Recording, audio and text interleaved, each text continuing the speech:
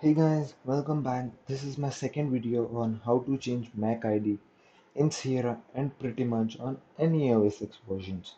So let's get started. In my previous video on El Capitan, many of them commented that this code wasn't working on Sierra. So right now I am on Sierra and I'm going to show you this code still works to change your Mac ID. So let's open terminal and type in ifconfig to check it out your Mac ID and here's my original Mac ID and I have written it down here. And I'm gonna replace it with this one. So let's type this code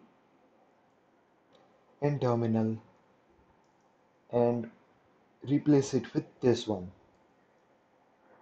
And press enter now type in your admin password. And yes your mac id has been changed. That's it. Easy it is. Now let's type in ifconfig to check it if your mac id has been changed or not. So let's get up and here's your mac id has been changed.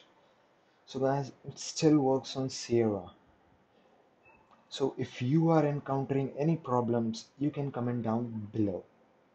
And now if you are finding any difficulties in replacing or getting any random mac id so you can try this command.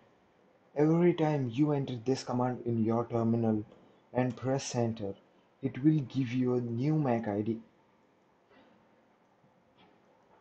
as you can see here I'm getting a new Mac ID every time I'm printing it out.